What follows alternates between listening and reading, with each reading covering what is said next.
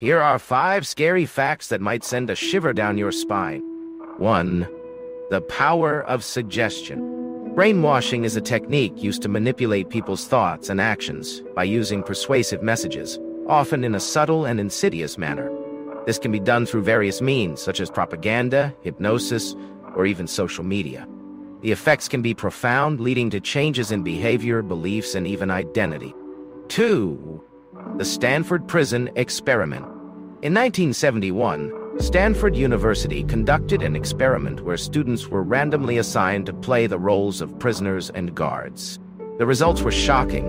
The guards became increasingly sadistic, and the prisoners developed mental health issues.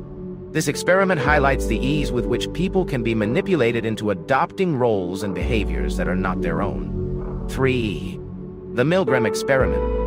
In 1961, Psychologist Stanley Milgram conducted an experiment where participants were instructed to administer electric shocks to another person. Despite the participants' reluctance, the majority continued to administer the shocks, even when the person screamed in pain.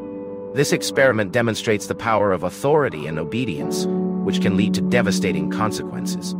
4. The effects of propaganda. Propaganda is a powerful tool used to shape public opinion.